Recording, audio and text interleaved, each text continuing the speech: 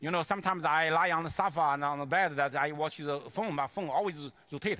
I have to, to shut off the rotate button. But in this way, you don't need to do that. So you can, it's AI auto rotate, uh, rotate. You can follow your eyes direction. Let's see.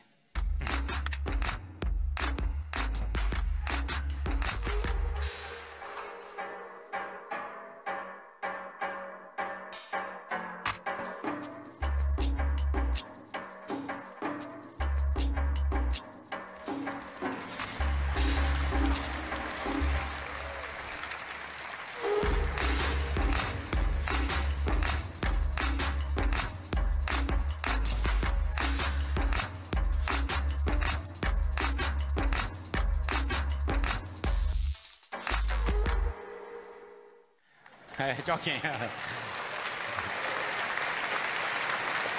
Yeah, it's really bring more convenience for you.